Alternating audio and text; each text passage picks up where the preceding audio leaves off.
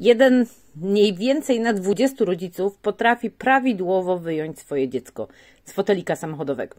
Zapraszam Was na spotkanie z Ewą Jarymowicz, specjalistką od pielęgnacji neurorozwojowej maluchów, która nauczy Was, co to w ogóle jest ta pielęgnacja i pokaże podstawowe podnoszenia, przenoszenia dziecka, jak włożyć dziecko do chusty, wszystkie najważniejsze kwestie związane właśnie z pielęgnacją neurorozwojową maluchów.